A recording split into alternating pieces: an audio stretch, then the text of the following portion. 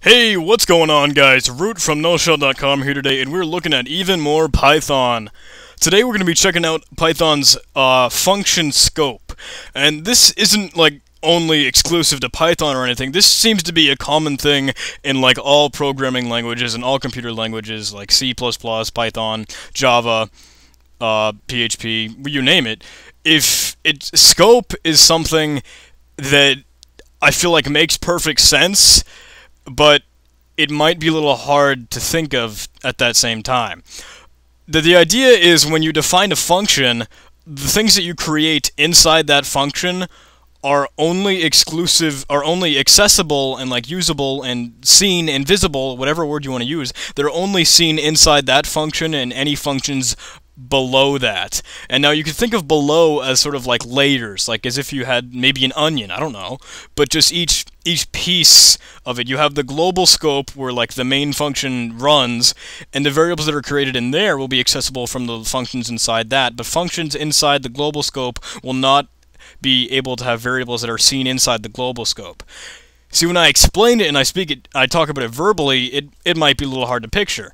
But if we open up idle, and uh, we create a new program, a new window. I'm gonna get my shebang started.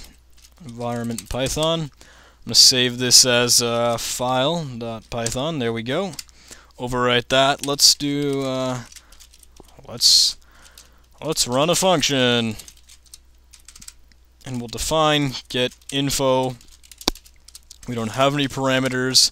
I'm gonna make a little bit of white space here and then we'll run get info. So now if we do kind of what we did in the last video, if we do user input equals raw input, uh, what should we say? And then print, let's say, tab, and then user input. When we run this, what should we say? Oh, I should have made a new line there. Let's say. Now, when we go back to the program, I'm just going to add the new line here so it works okay. If we, outside of the getInfo function, tried to display the user input variable, it's going to, like, have a heart attack. Give it a go. Let's run a function. Whoa, whoa, whoa! What's the matter here? Name error. The name user input is not defined in line 10. So we're on line 10. I can see that down at the bottom of idle. And uh, printing user input, it's it's going to give me an error because user input is not in this scope. It's only inside the get info function, this one right here. But that's interesting. What if we what if we had x, let's say in the in the uppermost layer, x equals 4. And then what if we printed x inside the function. Will that make sense? Let's comment out this line here in case we ever need it again. I really doubt it, but let's hit F5, get our program going. Let's run a function. What should we say? Herpaderpaderp. Let's say herpaderpaderp, and then it displays 4. Huh. Okay. So we have that sort of layered structure. Any any variables that are above these systems and these methods and these functions will be accessible in those methods and those functions and those things. But any anything any variables below of another function will not be able to call those because they aren't created in that scope. Huh. Does that make sense? when you see it in action, it's it's a lot different from hearing it, or or maybe when you read it and you have a visual display or that sort of thing. All those things do not work. It's strange. What if we did what if we did x equals 4 in here? Actually, x equals 5. Then we did x equals 4, actually x equals 3 over here. Let's print uh, x outside the function first time. Let's print x inside the function once, and then let's print it again after we've set it inside inside the function, and then let's print it outside the function once more and then once we reset it we will print it again so we're just printing X a whole bunch of times so it looks a little dumb but hey alright clean that up a little bit and yeah that, that looks good to me User input might actually give us a problem. We should kill that. F5. Okay, let's run a function. Um, 4. Okay, that's good. We print it again. Let's, uh, let's see. Uh, what should we say? No, no. Wait a second.